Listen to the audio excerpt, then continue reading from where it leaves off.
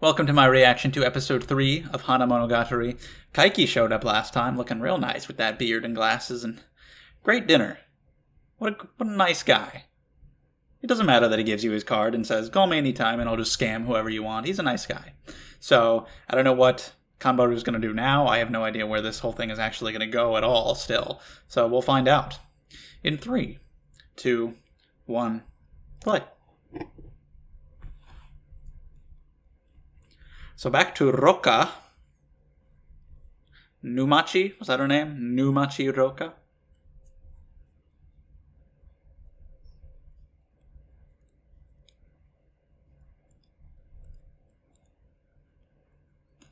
What's up? Everything looking nice and golden in here. How did how did she do that? Is she the collector and why why why? For to to in some way help her restore her leg.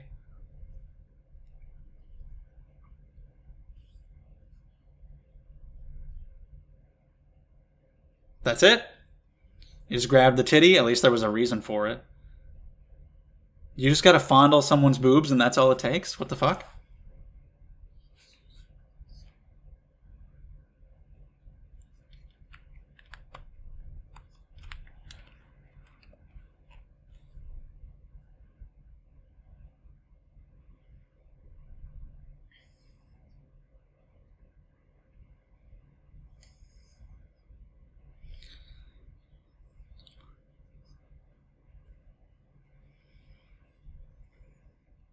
He was a pretty big deciding factor in the last arc. Yeah. He keeps a lot of his cards close to his chest, only reveals what he wants. You never know how much he knows.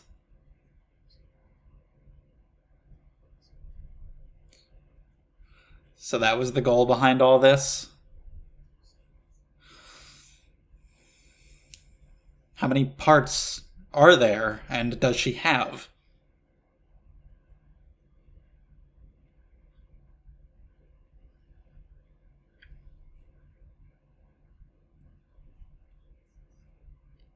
Well, all right.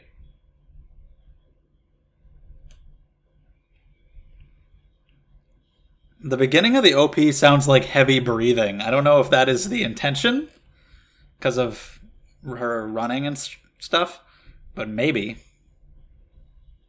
But anyway, of course, subscribe to the channel if you enjoyed these videos. Monogatari comes out every Saturday. Or you can get the videos early before they go up on YouTube if you want to check out the Patreon. I'm watching all of Hana Monogatari all in one day over there.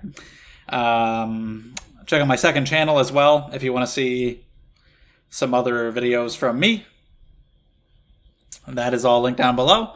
Thank you very much. The tone of this OP is all over the place. It's going through so much. I haven't really read the lyrics much yet.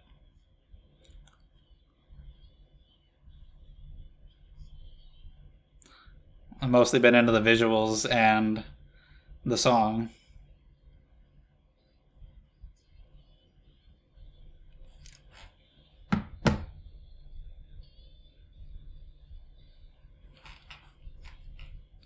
Are we going to end this arc with a climactic basketball match? A one on one? Maybe play a game of horse? Or monkey?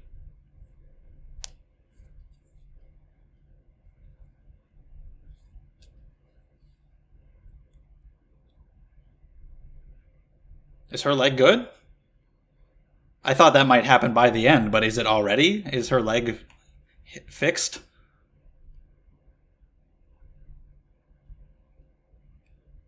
Because of because of the the devil. Obviously, hand is bandaged. Yeah, her leg is good. I mean, I don't know. I don't know if maybe it's it might be injured still, but she might be able to walk. Might not be as bad, but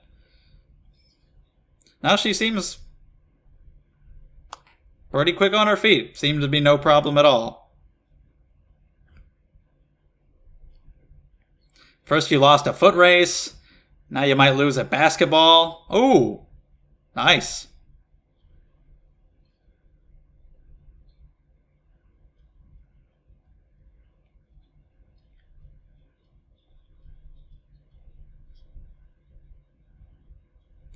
Damn. Little off your game.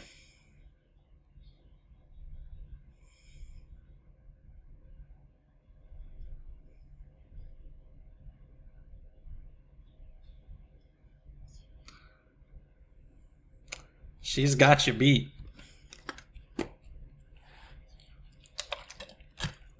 There you go. What is the score? It really seemed like Numachi was on top of that for most of it.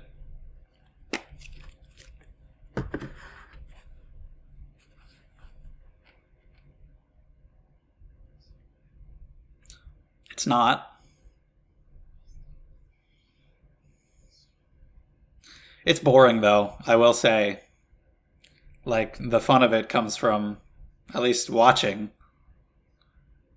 It comes a lot of the joy comes from seeing the shot and then wondering, is it going to go in? But if they just dunk it, it's like, oh, well, yeah, you can do that. You know, if I can do it, but.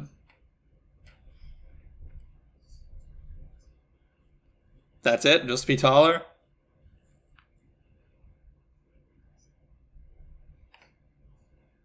What?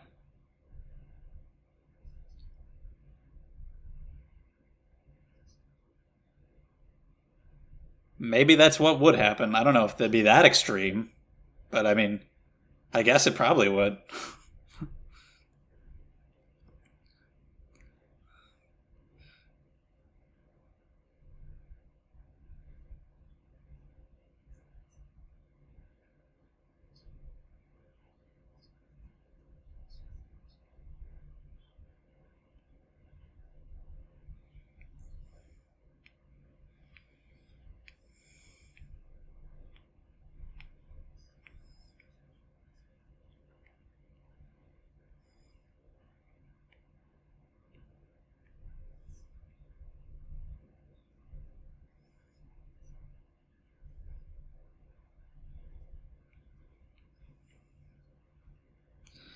It was pretty insane though. That that fight with Araragi, that was one of the first big moments of insane animation in the whole series. Very cool stuff.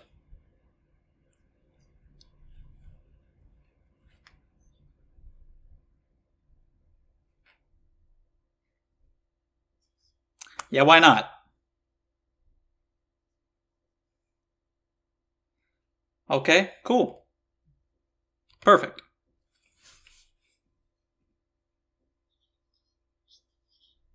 And yet, you're not doing it. You're right here. I guess we're gonna just bang on the basketball court. A full court press, if you will.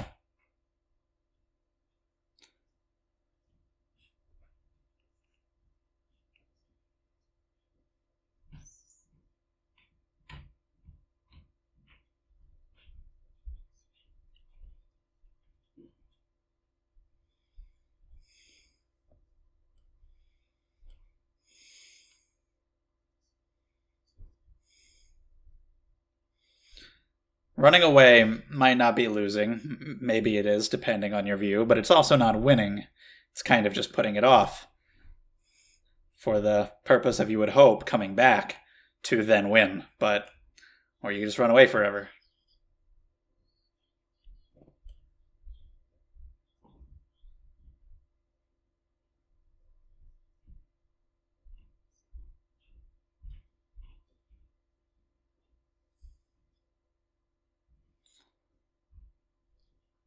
Wow.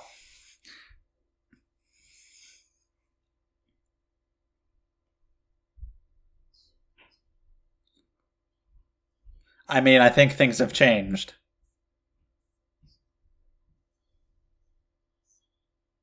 Obviously, her leg is fantastic.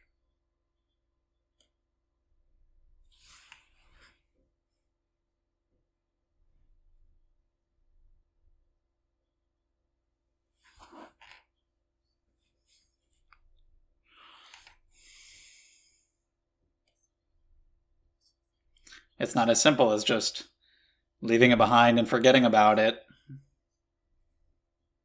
For her, it is. But not for Kanbaru.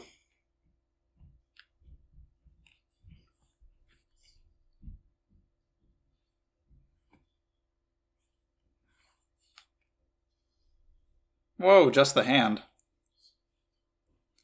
Is it to spread, or is it just to be the hand? So it gets smaller every time?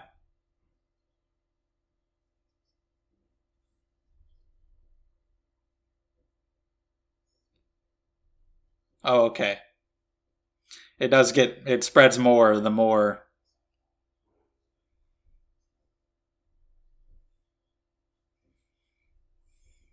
The more you use it, I guess. And it's kind of reverted back. It is called the monkey's paw, after all.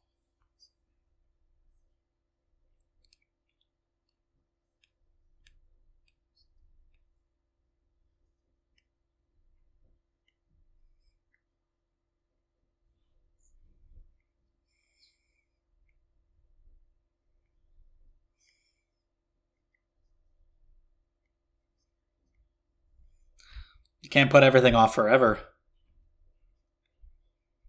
Putting it off doesn't make it not a promise anymore.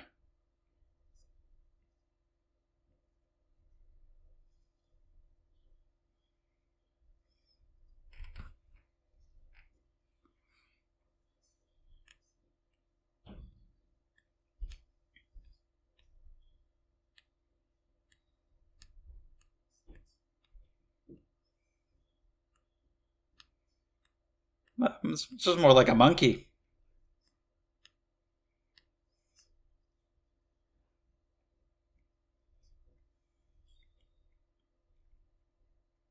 Well, shit. Are you just walking around with that out in the open? Yeah, what the hell happened? How'd your leg get that badly messed up?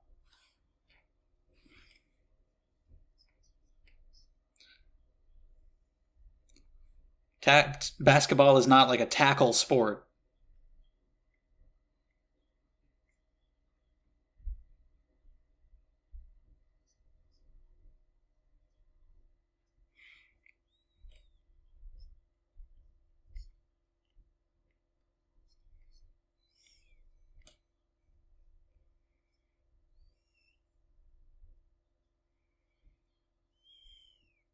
Yeah.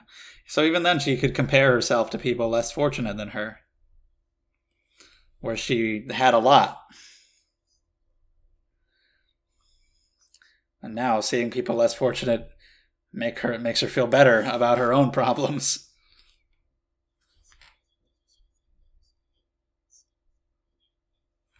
Shit, good for her. But they probably didn't like that.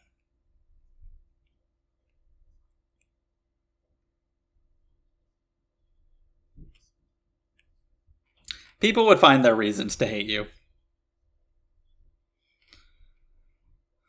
But if everybody was talented, then would anybody be? If there's nothing to compare it to, if everybody is equal, then people are talented at different things.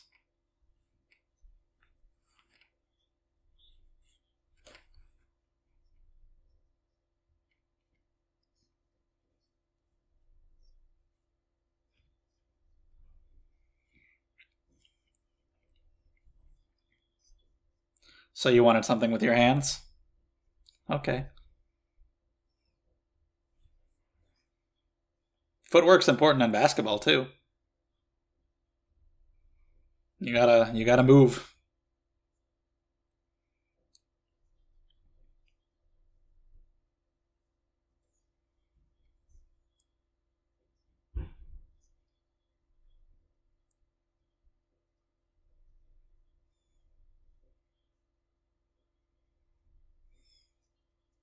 That's not a fair punishment. You can play a sport for whatever reason you want.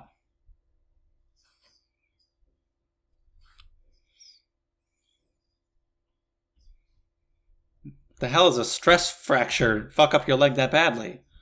Is it really that bad?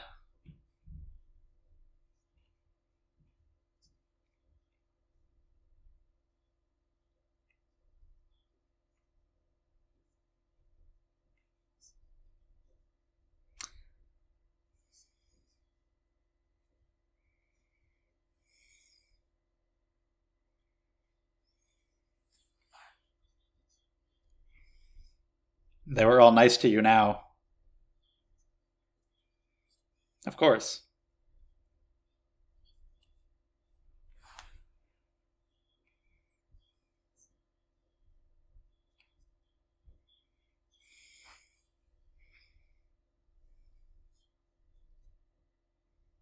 Of course. People will treat you very differently if something like that happens. Doesn't change anything.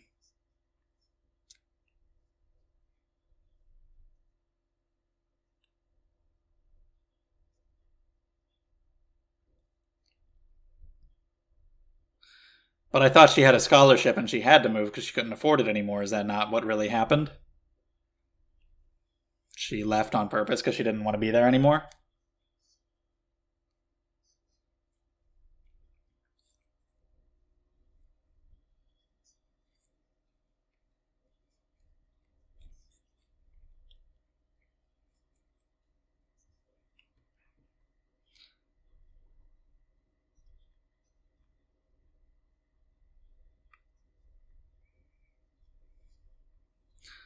All right, so that was the first person that she helped.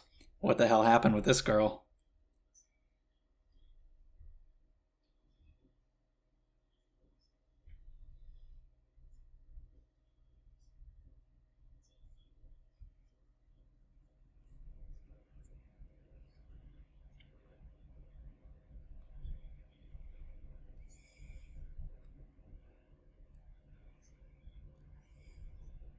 That's interesting. Like this person is doesn't have the time with everything they got going on to be like, "Oh, poor me. I just want straight up advice." That's an interesting thing to do. You could also find it rude, like I don't want to bring my problems to them when they clearly have their own shit to worry about, but she decided to do it.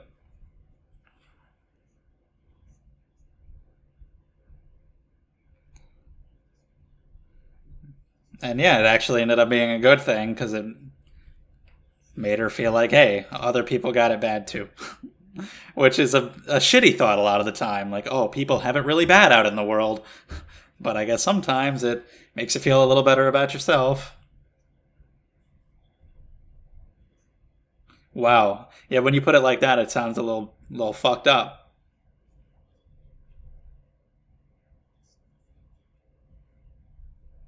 But I mean, you're listening to her. You're you're giving her something. You're helping her out. And if you're getting something out of it that's different, well then so be it.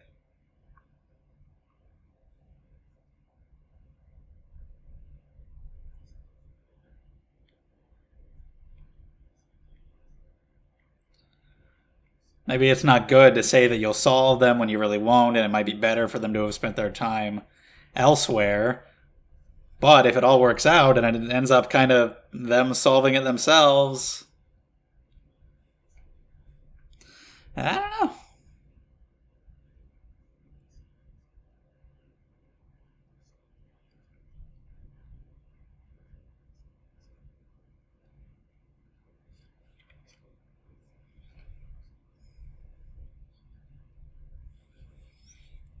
and you just didn't do anything.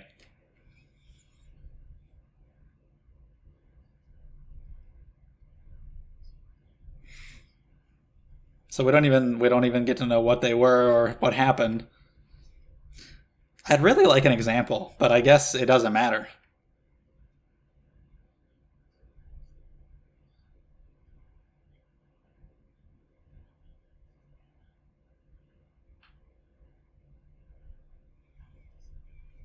So that's just reinforced her beliefs. They push their problems off to her, and there you go. They're not problems anymore.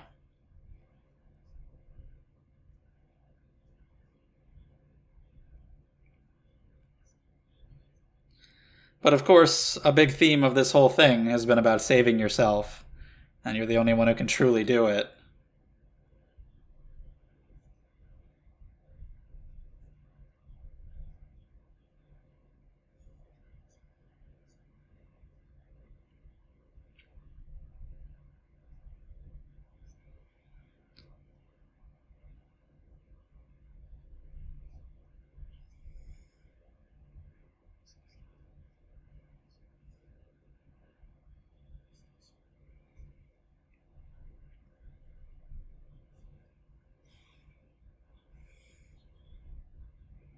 I love all this music and all the visuals with the basketballs are pretty creepy. As she talks about her descent into becoming this devil, it's a nice tone. The Poisonous Swamp, The Collector of Misfortune. Great names. Yeah, she went on for a while. There's more? Goddamn.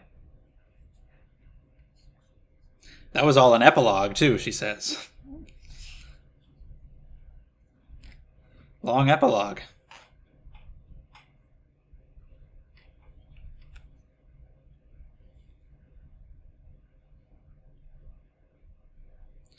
Yeah, that didn't really come up.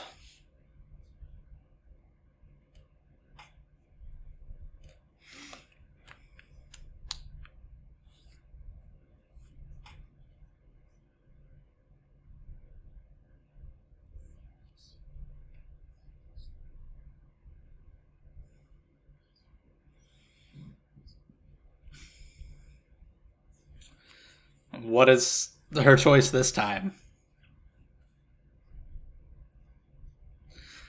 Oh, I want to hear it.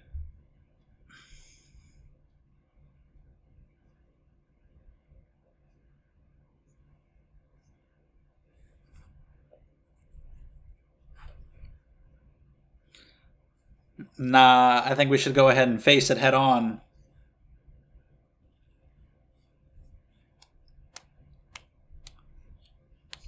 Story time, please.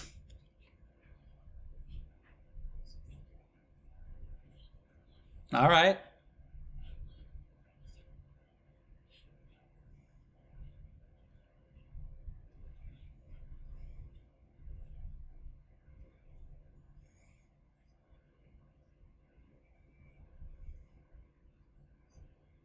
I feel like the episode is going to end.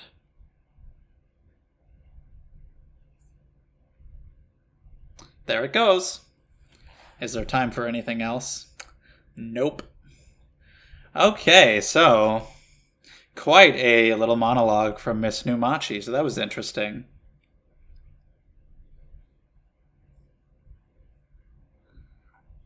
I didn't expect it to focus so heavily around this new character, but she's pretty interesting so far. I don't know how much she'll matter going forwards. I don't know how she'll end up at the end of this arc. Pretty good conversations, though. Pretty good ideas being explored. About taking responsibility for your own issues, running away.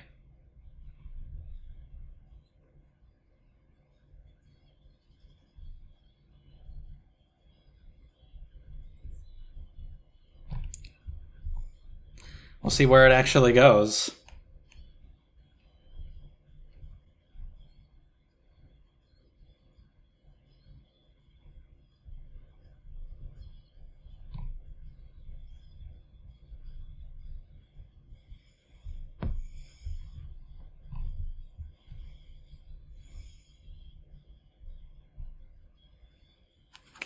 I think that's it. There's nothing else, right? Okay, I will move right on to the next one then. Thank you for watching.